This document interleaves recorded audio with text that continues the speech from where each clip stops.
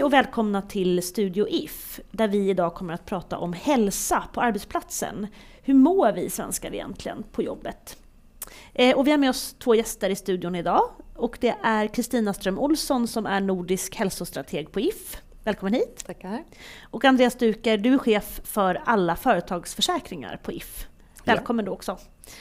Eh, vi kan väl börja med att prata lite om Ifs hälsobarometer som vi precis har släppt. Där har ju vi undersökt eh, ja, men svenskarnas hälsa, hur vi har det i arbetslivet och även det här med känslan för oro och så när det gäller ekonomisk trygghet bland annat. Du kan väl dra lite kort Kristina, vad, har vi, vad har vi för resultat här i årets barometer? Ja, i årets barometer så får vi väl säga att det är en del uppseendeväckande och oroande resultat som visar en ganska dyster bild. Men det tycker vi samtidigt är väldigt bra för genom att få ökad kunskap om hur människor känner så kan vi också göra mer åt det och förebygga. Och bland resultaten så ser vi att Eh, två av tre personer känner ökad oro över läget just nu. Det finns många saker, många faktorer som, som påverkar den här oron. Det är både omvärldsläge, inflation, oro för, för barnen, hur de ska uppleva eh, och må utifrån de, eh, den situation som Sverige befinner sig i. Men vi ser också att nästan en av fem känner sig oroliga för att vara ensamma och för ensamhet. Så det finns många frågor i det här som vi behöver titta närmare på. Mm. Sen ser vi också att många är oroliga för sin privata ekonomi. Det är en stor ökning jämfört med för ett år sedan. Och, eh, man tittar också på oron för att bli sjukskriven så har den ökat betydligt. Så det är, det är frågor som vi kan, också kan göra någonting åt. Eh, mm. Andra frågor som vi ser i resultaten är, är ju att när det gäller tilltron för offentliga system och, och hur vi ser på framtiden så finns det, finns det också blandade resultat ska jag säga. Och visst är det också så just nu att det är väldigt många som är sjukskrivna just för stress? När det gäller stressrelaterade sjukskrivningar så har de aldrig varit så höga som nu. Mm. Och då samtidigt som vi ser att många upplever till exempel hybridarbetslivet som ju nu har blivit det nya normala som någonting positivt som ger ökad flexibilitet. Trots det har vi så stora sjuktal och då blir man ju lite orolig också för om det finns en inneboende eh, sjuknärvaro här, mm. om det är någonting som vi inte ser. Och här är det ju eh, en ökad utmaning för arbetsgivare skulle jag säga mm. och se faktiskt eh, hur medarbetarna mår. Just det, och på tal om arbetsgivarna då, eh, Andreas, du som, eh, som möter många företagare och, så där, och chefer. Märker du av den här oron bland dem? Ja, jag tror att en stor skillnad är att arbetstagarna utsätts för många fler externa stresstriggers än tidigare. Jag tror vi kommer från en, en period av ganska lugna förutsättningar flera år som har varit gynnsamma ur det perspektivet och går in i en period där det är mycket som kan trigga oro. Vi har eh, klimat, vi har AI-utveckling och sen så har vi krig i Ukraina och inflation och så vidare. Så mm. det är eh, svårare för arbetsgivarna att överblicka stresssituationer skulle jag säga, eller triggers för det. Och vi, och vi ser ju också i rapporten att många väljer att inte egentligen lyfta de här frågorna med ja, men egentligen varken sin chef, det är väl ungefär 10 som, som går till mm. chefen i första hand, och mm. även ganska låga siffror för just HR. Mm. Um, hur ska man tolka det, Kristina? Vad säger du? Ja, det är ju å ena sidan inte jätteförvånande att många väljer att eh, prata med någon annan först, för det finns mm. fortfarande ett stigma kring det här med att visa sårbarhet och, och så. Samtidigt så tycker vi att det, det, den siffran bör vara högre. Det bör kännas, man bör ha ett bra samtalsklimat som gör att man också mm. vågar prata med sin ledare om någonting inte känns bra om man känner att man riskerar att hamna i sjukskrivning till exempel. Och det som väl är anmärkningsvärt där är ju att ungefär en femtedel väljer att inte prata med någon alls vid en situation av mental ohälsa. Det ja. är ju oroväckande. Det är det verkligen.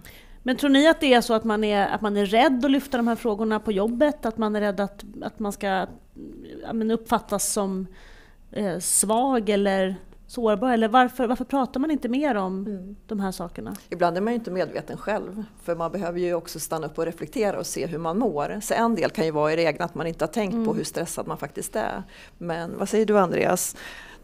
Ja, jag tror kanske rädd är förhoppningsvis att ta i, men att vi har fortfarande ett arbete att göra att riva fler barriärer, att man tidigare tar upp vid mm. tecken på eh, psykisk ohälsa. Att vi skapar sociala förutsättningar på arbetsplatser och mm. i sättet vi driver våra team och som ledare eh, att göra det mer naturligt och ta upp det tidigt. Mm. mm. Så att när man kommer och säger så här att nu måste jag få, få hjälp eller nu måste det lyftas bort saker från mig. Då är, då är det egentligen för sent då? Idealt så skulle jag önska mm. att det inte är första tillfället man som mm. ledare får bli informerad om situationen mm. eller får grepp mm. om situationen. Det finns ju ofta mycket signaler som man faktiskt kan se om man stannar upp och, och reflekterar själv. Egna varningssignaler kring måendet men också som ledare om man vågar stanna upp och se det och ha de här regelbundna medarbetarsamtalen mm. med högt i tak. Inte bara prata prestation på jobbet utan också mm. mående. Hur kan man vara förebild själv då? Ni, ni är båda eh, chefer och ledare. Vad säger du Andreas? Hur kan, man, hur kan man själv visa att det här är okej? Okay? Jag tror att det är som i mycket att leda genom exempel, att visa sig, eh, våga visa sig sårbar som ledare också. Eh, att lyfta den här typen av frågor, låta det ta tid också. Det är inte alltid att eh, man når framgång första gången man försöker bli mm. mer aktiv i att uppmuntra en dialog kring de frågorna vi pratar om nu. Mm. Och det här är ju inga lätta frågor. Så där kan man ju också behöva hjälp i de här frågorna. Mm. För många upplever att de inte riktigt har kompetensen och verktygen att veta hur de ska, ja men hur ska jag prata med medarbetarna? När ska jag gå in och när mm. gå in för den privata sfären för mycket? Mm. Vilken roll kan en försäkring spela då i de här sammanhangen? Försäkringen kan ju gå in och hjälpa till i ett tidigt och förebyggande skede. Och som arbetsgivare har man ett långtgående ansvar för att minimera risken både för olycksfall och för ohälsa på arbetsplatsen. Det är lagstadgat. Och då kan försäkringen hjälpa till. Dels att man tar sitt eh, ansvar när det gäller systematiskt arbetsmiljöarbete. Alltså skapa en kartläggning och se risker, kunna prioritera hur man ska gå vidare med dem. Så att man kan få en förändring i samarbete med sina medarbetare och också följa upp det arbetet. Ja just det, du pratade om den här positiva loopen tidigare. Ja, precis. Ja. För det är det som är så bra med systematiskt arbete, ja. att man faktiskt kan få en lärdom om vad som gick bra och vad som man behöver förbättra. Så att det mm. blir en förbättringsloop av det.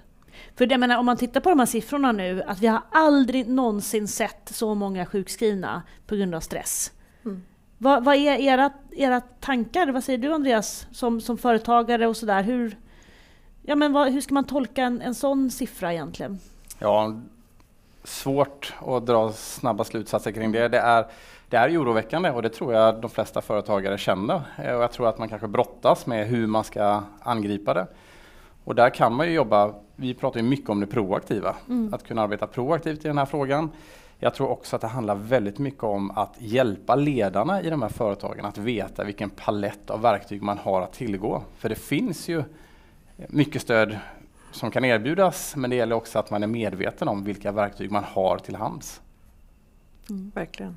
Det kanske är lite känsligt också att prata. Det är en sak att säga ja, jag har lite ont i ryggen eller har du, hur är det med din rygg? Men kanske en annan sak att ta upp med en medarbetare hur man, hur man mår.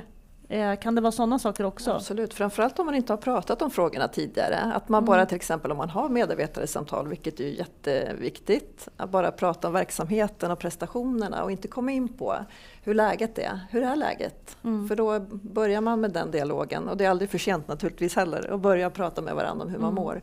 Då, då blir taket högre. Det är mycket lättare att säga till om det är någonting som skaver eller om, om, om det är någonting som har hänt. Ja, vi går ju snart in i ett nytt år här, 2024. Eh, vad har du för medskick, Kristina, till de chefer som tittar här?